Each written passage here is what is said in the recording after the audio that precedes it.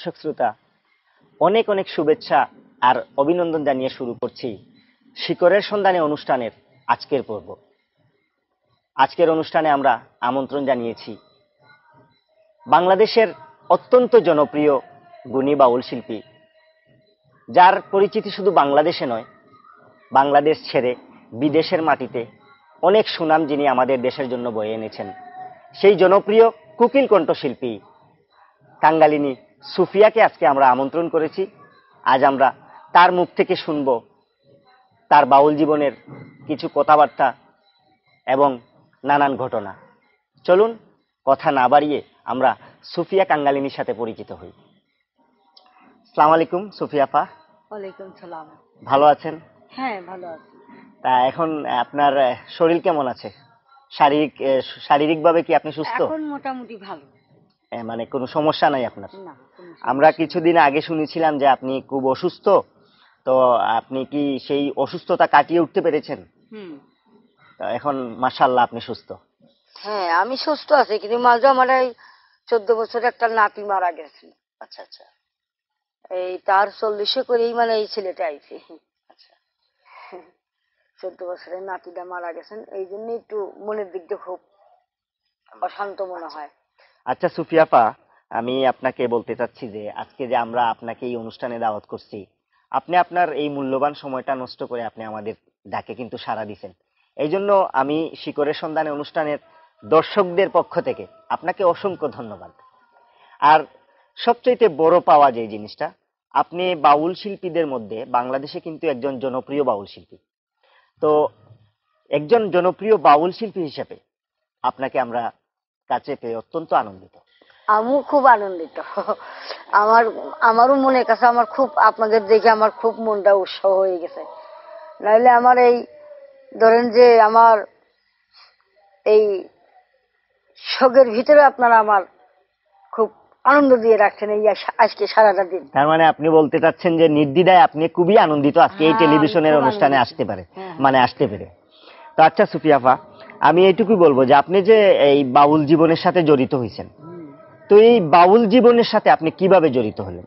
এটাও একটা সাধনা, কারণ আমার এই ছোট জীবন থেকেই,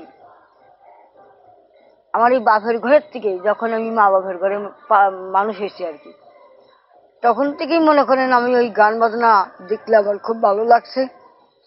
আর আমি মনে করছি যে লোকটাকে দেখছি, সেই লোকটাকে আমি খুব ভক্তি শ্রদ্ধা করছি। হুম। এবং পায়ে হাত সালাম করছি। এই জিনিসটা আমার মধ্যে খুব ছিল। তা এরকম করতে করতে এরকম করতে করতে আর মনে মনে চিন্তা করতাম যে আল্লাহ রে শুনেছি মানুষ সাধু মহন্ত হয় এই সাধুগুলির রাস্তায় চলে যায়। কেম্মা? আর মানুষের গান বাজনা গায় কেম্মা? এই মনে মনে করতাম মানে হ্যাঁ। হুম। কইতে কইতে দেখেন যে আল্লাহ পাক আমার এই তন্ত্রের মধ্যে নিয়ে আসলো। এই বাউল জগৎ এই বাউল জগতেই চলে আসলাম আর কি। তা চোদ্দ বছর বয়স যখন তখন থেকে আমি এই গান বাজনা শুরু করেন। শুরু করি। তো আপনি যে গান পরিবেশন করেন তো আপনি কোন কোন সাধকের গান মানে বেশি আপনি নিজে নিজের কোনতে গাইতে ভালোবাসেন? আমি বেশি মাত্রা ধরেন লালন সার কিছু কর্ম ভিতরে আছে তো লালন গীতি গানই বেশি গাই। আর ধরেন হালিম গীতি যিনি বয়াতি উস্তাদ হালিম আগেকার দিনের সাধকদেরও গান নিজে গিয়েছেন কিংবা এখনকার যে জনপ্রিয় গীতিকার কিংবা সাধক কবি এই শেখ ওয়াইদুর রহমান সাহেব ওনার গানও আপনি পরিবেশন করেন হ্যাঁ। তো আমি এই মুহূর্তে সরকারের গানও হ্যাঁ, গাই। আচ্ছা তো আমি এই মুহূর্তে শেখ ওয়াহিদুর রহমানের একটা গান আমি আপনার কণ্ঠে শুনতে চাই আপনি আমাদের শিকরের সন্ধানে অনুষ্ঠানের দর্শকদের শেখ ওয়াহিদের লেখা একটা গান আমাদেরকে গিয়ে শোনান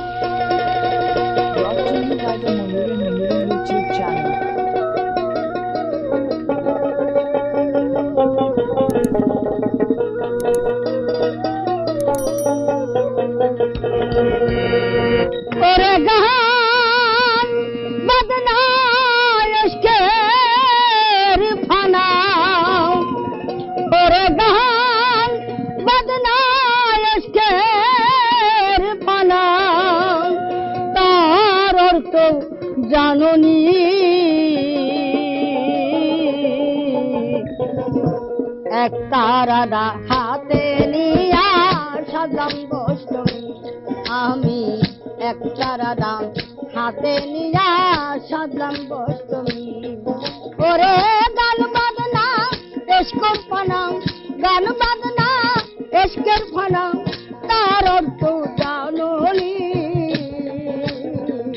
এক তারা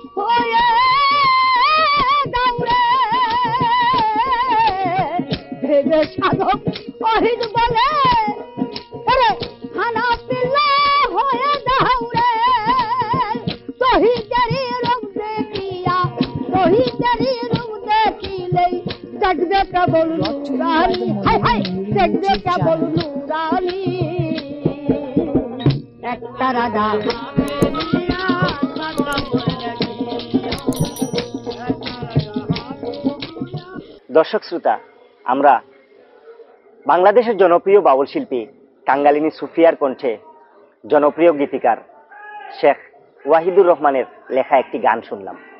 আসুন, আমরা এর পরের আলোচনায় ফিরে যাই। আচ্ছা সুফিয়াপা, আপনি তো পরিচিত এবং জনপ্রিয় একজন বাউল শিল্পী। তো এই বাউল শিল্পী হওয়ার পর আপনার বর্তমান জীবন কীভাবে কাটতেছে? এখন বর্তমান জীবনটা কাটতেছে। আমার জীবনের সাথে সময় সময় মনে হয় যে একেবারে নীরবে থাকতে পারতাম একখানে বসে তাহলে মনে হয় আমার কাছে জীবনটা খুবই মনে হয় কিন্তু তা পারি না মায়ার জ্বালাই কারণ মায়ার বসিমতে হয়ে গেছি। এতকাল তো একটি মেয়েই ছিল আর হ্যাঁ। এই ধরেন যে আমার এই আবার নতুন করে যে নবীন বয়সে। নবীন না মানে প্রবীণ বয়সে। হ্যাঁ। অত প্রবীণ আর পর্যন্ত সেটা কি আমি বলছি। এত প্রবীণ না তবে হ্যাঁ মোটামুটি প্রবীণ হিসাবে। হ্যাঁ, আমরা আমরা আসলে শুনতে পেয়ে আমরা আমরা আমরাও শুনতে পাইছি যে কিছুদিন আগে আপনার একটি মেয়ে হয়েছে হ্যাঁ, আসলে আমরা অত্যন্ত মানে খুশি যে আমরা অত্যন্ত আনন্দিত যে আপনার এই বয়সে আপনার একটা মেয়ে হয়েছে আল্লাহ ওর সুখ সমৃদ্ধি কামনা করি আল্লাহর কাছে আমরা। হ্যাঁ। তো এক মানে আপনার মেয়েটা এখন কেমন আছে? এখন বর্তমান ভালোই আছে। আচ্ছা আচ্ছা। তা ধরেন আমি তো শিল্পীর মানুষ ওই আর কি মানে ফেটারের দুধ খাওয়াইয়ে তাকে আর কি আমার ওই শাশুড়ির কাছে বা আমার শ্বশুরির কাছে ওনাদের কাছে রাখছি। আমি তো গান বাজনা গাই বিভিন্ন জায়গা যাই রাখেন আপনারাই। একটু ঝরঝরা হোক তারপর আবার আমার কন্যা সন্তান আমার কাছেই আছে আচ্ছা আচ্ছা সুফিয়াফা এখন আরেকটা প্রশ্ন। যে আপনি যে এই বাউল জগতে আসলেন তো আপনার গানের উস্তাদ কে? আমার গানের উস্তাদ আমার কর্মজগতের শিক্ষার গুরু হচ্ছেন দেবেন খাপা। দেবেন? দেবেন খাপা উনি দেবেন হিন্দু ছিলেন। খাপা। খেপা। খেপা। মানে অবিরাম সন্ন্যাসী ছিল লালনের ভক্ত। আর সেই অবিরাম সন্ন্যাসীর ভক্ত হলো দেবেন খাপা আর তার শিষ্য হচ্ছে আমি। আচ্ছা আচ্ছা। এই দেবেন খাপার বাড়িটা কোন জায়গায় পড়ছে? ওনার বাড়িটা ছিল ওই কাশেন ভাটিয়াপাড়া ওই গোপালগঞ্জের ওই দিকে আর কি। মানে এটা কি আপনাদের আপনার বাড়ি? ওই ফরিদপুরের মধ্যে আর কি। হ্যাঁ তা আপনার জন্মস্থান কি ওই ফরিদপুরেই? ওই ফরিদপুরে ছিল এখন এই গেছে রাজবাড়ির মানে ওই ফরিদপুরটা এখন রাজবাড়িতে পরিণত হ্যাঁ হয়েছে। হ্যাঁ। তো ওই দেবেন খাপা কি ওই ওই এলাকারই লোক? হ্যাঁ ওই উনি কি এখনও জীবিত আছেন? না উনি পেয়ে গেছেন। মানে উনি দেহ ত্যাগ করছেন। উনি মারা গেছে। হ্যাঁ।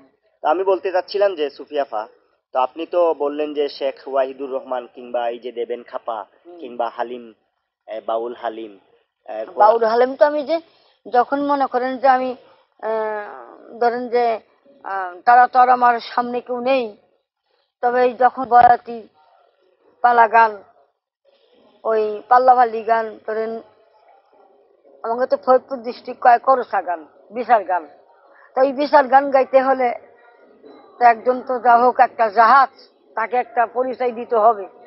তাই তাকে তো সম্বন্ধ দেওয়ার লাগে আমি আর কি দিয়েছিলাম। হ্যাঁ। ওই হালিম বয়াতি। হ্যাঁ এখন এখন যেহেতু আপনি হালিম বয়াতির গানও গেয়েছেন হ্যাঁ হালিম এখন আমি এইটুকু বলতে চাচ্ছি যে আপনি কিন্তু মাঝখানে একটা জিনিস বলছেন যে আপনি লালন শাহের গানও গেয়েছেন সাই লালন। তো আমরা এখন অনুরোধ করব আপনাকে যে আপনি লালন শাহের একটা গান আমাদেরকে গিয়ে শোনাবেন। আসুন তাহলে আমরা একটা লালন শাহের গান আপনার কণ্ঠে শুনব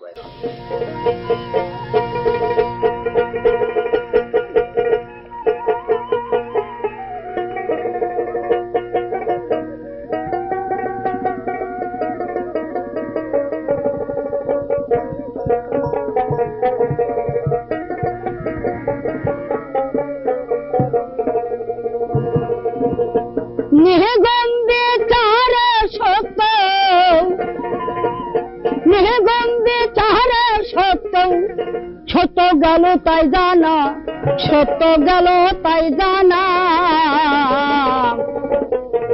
মায়ের দিলে হয় তার বাপির ঠিকানা।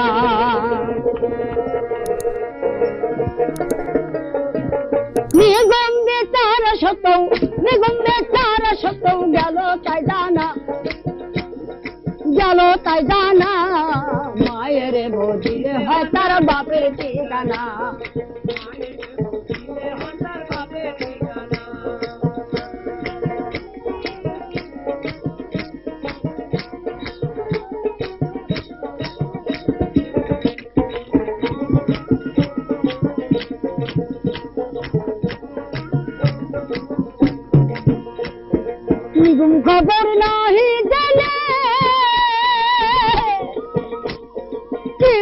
जन रतन है।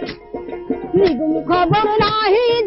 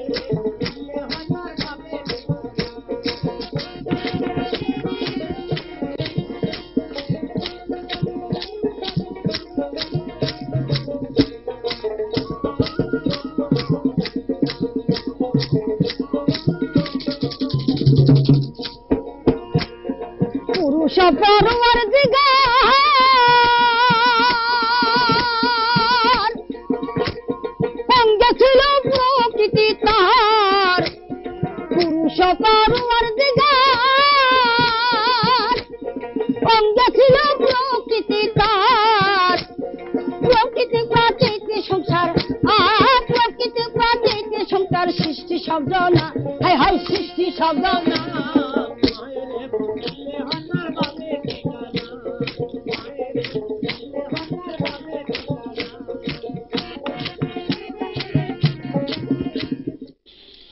আচ্ছা সুফিয়াফা এই যে লালন সাহের গান এতক্ষণ শুনলাম আমরা আসলে খুব ভালো লাগছে। এই গানটা আর খুবই জনপ্রিয় একটা গান। হ্যাঁ। আচ্ছা আপনি তো এই বাউল শিল্পী হিসাবে কিংবা এই জনপ্রিয় একজন বাউল শিল্পী হিসাবে বাংলাদেশের বিদেশের মাটিতে তো অনেকবার গেছেন। হ্যাঁ তো আপনি কতবার মানে বিদেশে যাতায়াত করছেন? আমি তো আটবার গেছি লন্ডনে আর তাছাড়া অন্য অন্য দেশে গেছি চীন গেছি চায়না গেছি ব্যাংককে গেছি দক্ষিণ কোরিয়া গেছি আমেরিকা গেছি কাতারে গেছি। তো আপনি এই যে বাউল শিল্পী হিসাবে বাংলাদেশের একজন এই বাউল শিল্পী হিসাবে আপনি বিভিন্ন দেশে যাওয়া আসা করছেন। তো সেই সময় আপনার কীরকম লাগছে? আপনার অনুভূতিটা কি ছিল? খুবই ভালো লাগছে। আমার কাছে খুব আনন্দ লাগছে। আচ্ছা আপনি তো নিজেও গান লেখেন। যে এই পর্যন্ত তো প্রচুর গান আপনি লিখছেন হ্যাঁ, আমরা শুনলাম। তো এখন কিন্তু আমরা আপনার ওই নিজের লেখা একটা গান শুনব। হ্যাঁ আচ্ছা। তার আগে কিন্তু আমরা বিদায় নেব কারণ আমাদের অনুষ্ঠানের সময় খুবই অল্প। আচ্ছা তো আপা আসলে আপনাকে পেয়ে আমরা অনেক কিছুই জানলাম। আরও কিন্তু ইচ্ছে ছিল অনেক কিছু জানার কিন্তু অনুষ্ঠানের সময় স্বল্পতার কারণে কিন্তু জানতে পারতেছি না। এই জন্য খুব খারাপ লাগতেছে কিন্তু। তারপরও কি করব নিরুপায়? তাই আপনি অসংখ্য ধন্যবাদ আপনাকে। আপনি আমাদের এই অনুষ্ঠানের সময় দেওয়ার জন্য। আচ্ছা আমিও ধন্যবাদ দেই। দর্শক শ্রোতা আমরা আজকে এই শিকড়ের সন্ধানে অনুষ্ঠানে আমন্ত্রণ জানিয়েছিলাম বাংলাদেশের জনপ্রিয় বাউল শিল্পী কাঙ্গালিনী সুফিয়াকে। আমরা আজকে তার মুখ থেকে তার বাউল জীবনের নানান ঘটনা শুনলাম। আজকে আমরা বিদায় নেব। অনুষ্ঠানের সময় এখানেই শেষ। আর বিদায়ের সময় আমরা কাঙ্গালিনী সুফিয়ার লেখা একটা গান শুনে শুনে বিদায় নেব। ততক্ষণে আপনারা ভালো থাকবেন, সুস্থ থাকবেন, সুন্দর থাকবেন। আল্লাহ হাফেজ।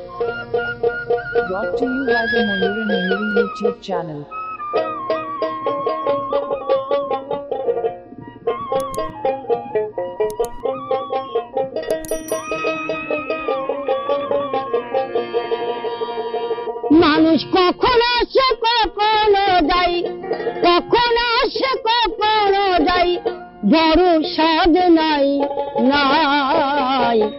এ জীবনে এই মানুষের বেঁচে থাকা দায়। কখন আসে কখনো যাই কখন আসে কখনো যাই বড় সাদ নাই। এ জীবনে এই মানুষের বেঁচে থাকা দায়।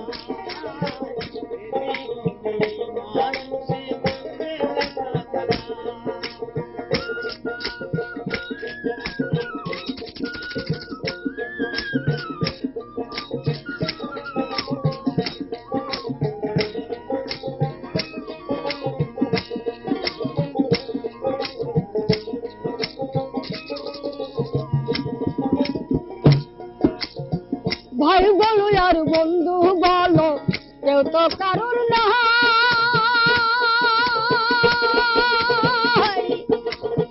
বিপদ কালে তারাও একদিন পর হইয়া যায়। ভাই বলো আর বন্ধু বলো, কেউ তো কারুর না বিপদ কালে তারাও একদিন পর হইয়া যায়। আশা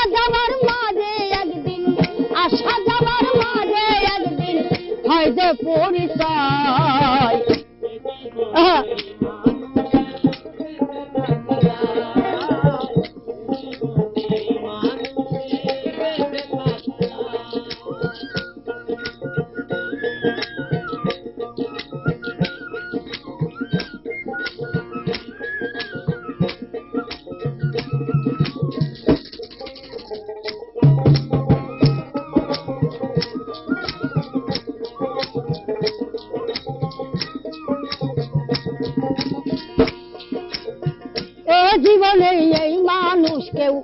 বিশ্বাস করেন না। কারণ আপন ভাই হইয়া সে ভাইকে খুন করিয়া দেয় জীবনে এই মানুষ কেউ বিশ্বাস করবেন না।